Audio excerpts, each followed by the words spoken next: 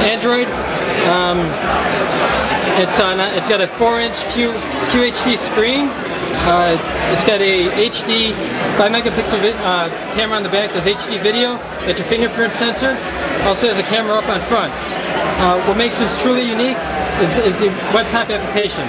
All you do to activate it, take one of our docks here, and just stick it in there, flip the screen, and the web-top application launches. You see the logo, second, and there's the screen. So, starting over here in the mobile view, this is your phone. It's not an emulator, it's not pretending to be your phone, it's your phone. You go into your contacts, are your contacts. You don't have to sync it with anything. It's all right there.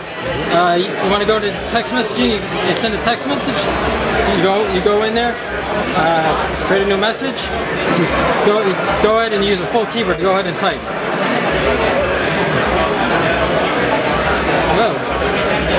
Type for that.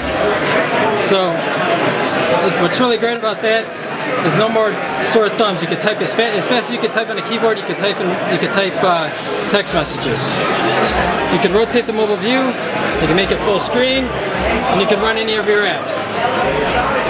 So if I go in here, want to launch Angry Birds, there I am. I'm in Angry Birds. I can go ahead and go ahead and play. But it's not a touchscreen, you use the touchpad. I use the touchpad, yep. Uh, we have the tabbed UI so you can jump between applications. So you're, you know, you say you're playing Angry Birds, you get a text message, you jump right over. It's simple, it's fast, it's the quickest way to do it. Uh, obviously the, the other major feature is, is the full Firefox browser. Uh, what you're looking at here is is your Gmail. This is uh, this is real Gmail. It's not the mobile site. It's it's your real deal. HTML5, right? Exactly. If you go full screen. You need a little more space. Integrated a button there to make that as, as easy as possible.